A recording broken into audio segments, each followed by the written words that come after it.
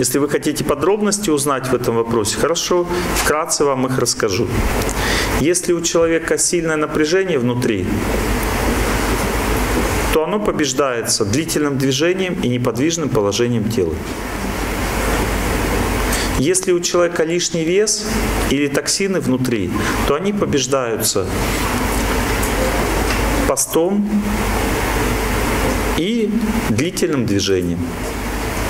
Если у человека жар и воспаление внутри, то это побеждается постом и статическими упражнениями.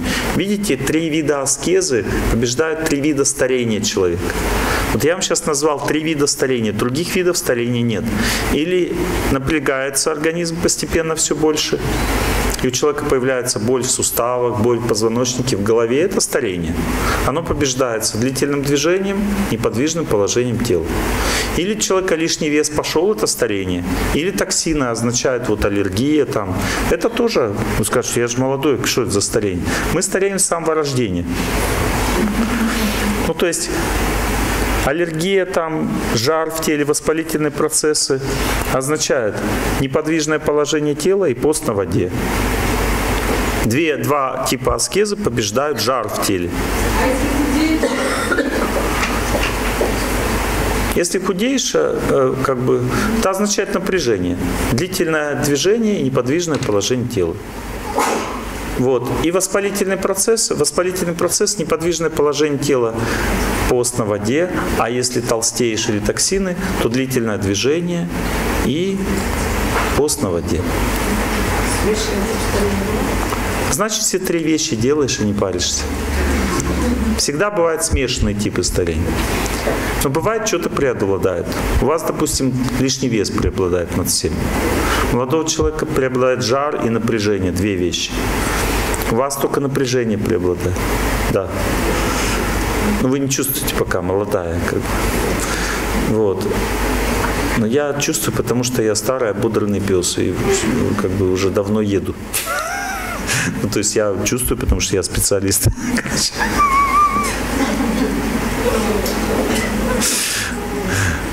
Ладно. Напряжение. Напряжение, да. Длительное движение. Просто там, знаете как, а, суставы, если говорить о ходьбе, то, ну, сейчас я вам скажу, мелкие суставы, да.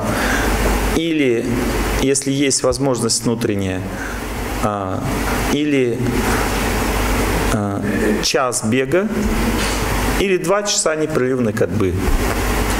Как только человек выходит на эту дистанцию, мелкие суставы уже болеть не могут. Они вылечиваются за 2-3 месяца и до свидания.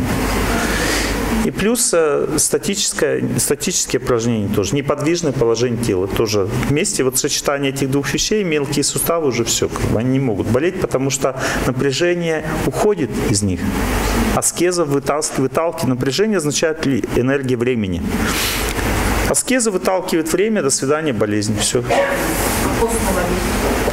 А пост на воде лишний вес убирает, как бы жар в теле, воспаление, когда в организме. А? Бруцеллез – это воспалительный процесс, означает жар. Ну, все вместе надо делать, скорее всего. Когда пост на воде сделаю, у меня тошнит сильно. Кого? Вы очень напряжены. Вам не надо делать пост на воде, вам надо длительно двигаться и неподвижное положение тела. Когда вас немножко расслабит, потом можете делать пост на воде. И тогда вас не будет тошнить ни сильно, ни слабо. Потому что сейчас вы делаете для себя не ту аскезу, которую вам нужно совершать. Молитву надо читать свою. Ну, то есть надо искать свою веру, которая какая вам больше нравится вера. Такую молитву читать. А? Длительность поста, мы говорили об этом, бывает разная. Я не буду сейчас даваться в эти подробности. У нас лекция в целом про успешную жизнь, досто, чувство собственного достоинства. Мы концентрируемся на этом. Я вам просто рассказал, что когда человек имеет плохой период жизни, то это отражается тоже на чувство собственного достоинства, как собачка, допустим, если она такая скользкая и вонючая, как бы, значит, она болеет. Значит, ей не хватает энергии природы. Но когда их хватает энергии природы, она становится мягкой, пушистой. И такой радостной, это значит, что она здоровый образ жизни ведет, собачий. Бегать сразу час, или как-то постепенно вот Да, в Киргизстане я хотел предупредить. В Киргизстане некоторые сразу час 40 начнут бегать и сразу прибегут в гроб. Потому что люди очень такие, как бы, упертые такие. как бы. Они услышали, Олег Геннадьевич, мы тебя услышали, все. Час 40 для здоровья хорошо, час 40, значит. И в гроб сразу потом. То есть начинаем бегать 500 метров. Потом постепенно увеличим дистанцию, потихоньку. Мы рассчитываем на 2 года. Два, через 2 года 16 километров. уже.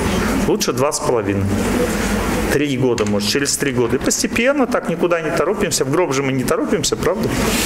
То есть мы хотим потихоньку вот сейчас постанавливаться. Все, или поститься самое большое два с половиной суток. Значит, я два с половиной суток буду поститься. Я же и в Киргизстане родилась. Хорошо. Сразу в гроб потом тоже, значит. Начинаем поститься с полдня, потом постепенно приходим больше. Статические упражнения тоже делаем постепенно, наращиваем. Никуда не торопимся. А? Можно бегать вечером, но для того, чтобы лечиться, нужно бегать с утра и до 12 дня. Потому что пока, когда солнце восходит, тогда и лечение идет. Точно так же, когда э, человек молодой, он рожает, солнце восходит, означает, рожать можно и в 45, но лучше, когда молодая девушка. Солнце восходит, идет лечение. Точно так же рожаем по молодости и лечимся, когда день еще молодой. День молодой мы лечимся, когда он уже в возрасте день, мы уже ну, как бы другими делами любим всех там. Мои года, мое богатство.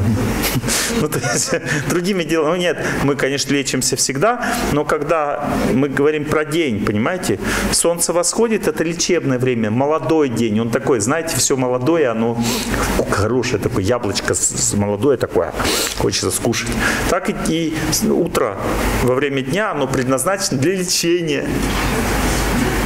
А вечер предназначен для любви, для мудрости. Ну, как бы, вот так. Поняли?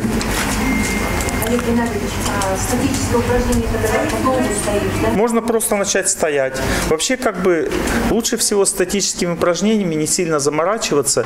Я вам рекомендую всего три. Первое – стоять, начинать с этого и не двигаться подолгу. И молиться. А потом обязательно после этого походить. То есть после статических упражнений всегда нужна динамика, чтобы снять статическое напряжение. Ну, час сорок сразу, вы же, я же говорю, в Кыргызстане, как. Потом падать сразу, падать.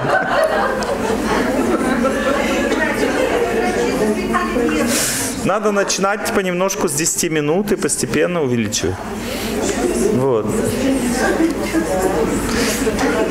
Дальше, дальше поехали. Подождите, мои хорошие. Вы очень активизировались сильно. Я чувствую, вы меня сегодня не отпустите на самолет. Вот. Нет, нельзя. Все, сейчас, сейчас должна быть лекция. Все. Итак, а, э, а, второе упражнение. Садимся, просто ноги вытягиваем вперед и вот так гибаемся. Вперед. Вот после того, как стоишь, можно это делать. Да. А после того, как ты эти два уже научился делать, стоишь и вперед, можешь встать на колени и нагнуться назад вот так. И постепенно лечь вот так на пол, и колени под себя подогнуты. Это самое сложное из всех трех упражнений. И когда ты три вот этих делаешь, больше ничего не надо делать. Этого достаточно, чтобы быть здоровым.